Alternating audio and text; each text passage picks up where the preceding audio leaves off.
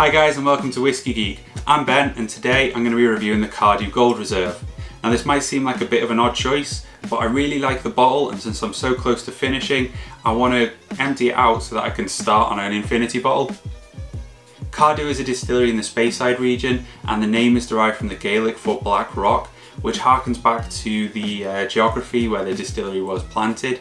It was originally um, an illicit farmyard distillery set up by John Cumming who used to be a whiskey smuggler and his wife Helen.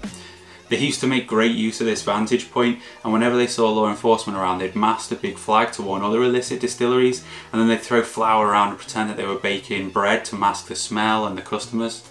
After whisky production was legalised, they rebuilt the distillery and tripled their output.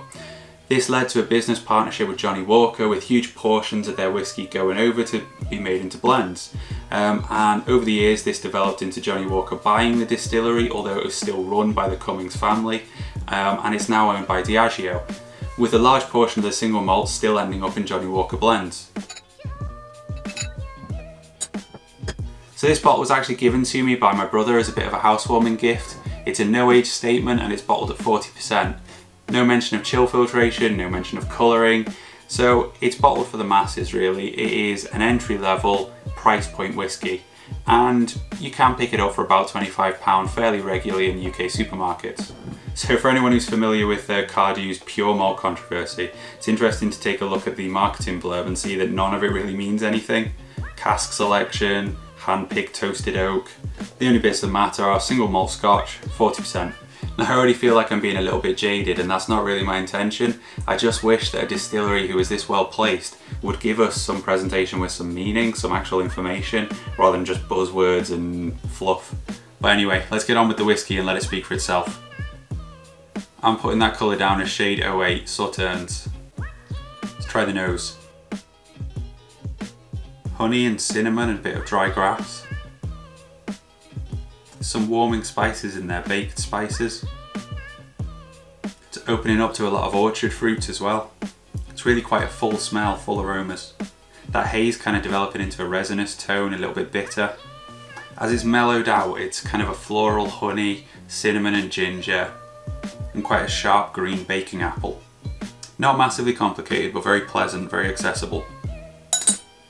Now to try it on the palate.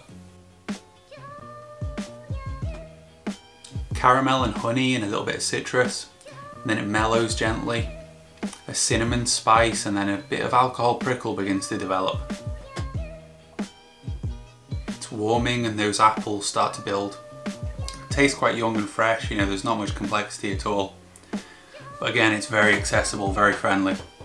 And it's got a good body for a 40% whiskey as well. The finish has quite a um, bitter prickle the apple's still lingering through. Then some of those spices come back, ginger. It's kind of a, a dull sweetness hidden behind kind of flat woody tones.